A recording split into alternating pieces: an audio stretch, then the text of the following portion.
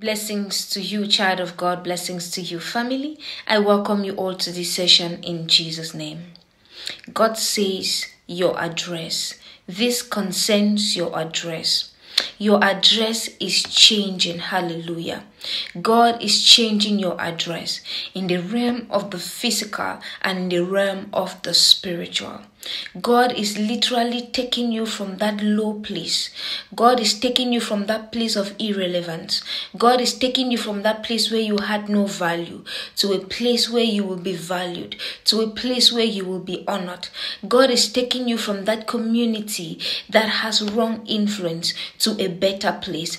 This is this is literally someone's miracle of a re- relocation, It's someone's word for a relocation. And another person, God is taking you from that place where you used to be hopeless to a hopeful place, a place where you used to be dishonored to a place of favor. God is changing your address completely in the name of Jesus. Father, I thank you for this word and what you are doing. Please take the glory and the praise in Jesus' mighty name. Now may the Lord bless you, may He keep you, may cause His face to shine upon you and be gracious to you. May the Lord look kindly on you and grant you His peace.